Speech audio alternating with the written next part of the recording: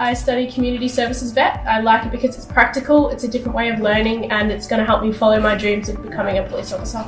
The things I enjoy most about VCE is the diversity of options, the challenge, and the options that it provides.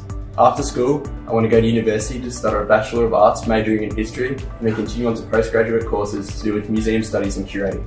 I chose VCAL as my pathway as a hands-on learner and love that VCAL puts theory into practice. Structured workplace learning has now led me to a full-time traineeship at Crawford's Pharmacy. I'm looking forward to the electives on offer in semester 2 year 10 because media is offered and that's something that definitely interests me.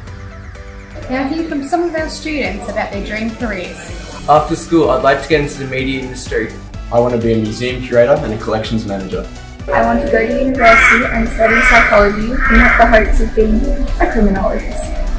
After school, I want to be a carpenter. I want to go to uni to study psychology in the hopes of becoming a child psychologist. I love cooking, so when I finish school, I want to be a chef.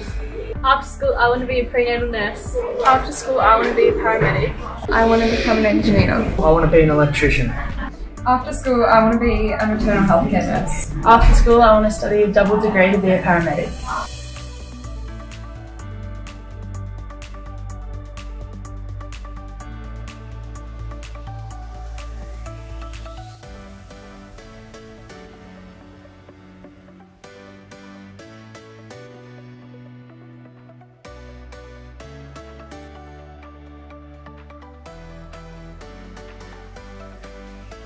Find out about VCE, VCAL and VET opportunities. And speak to all the experts on all the subjects that are on offer. We really encourage the 9, 10 and 11 students to at least spend 15 minutes of the lunchtime coming and checking out uh, really important information. So you can make an informed decision on your pathways into the future.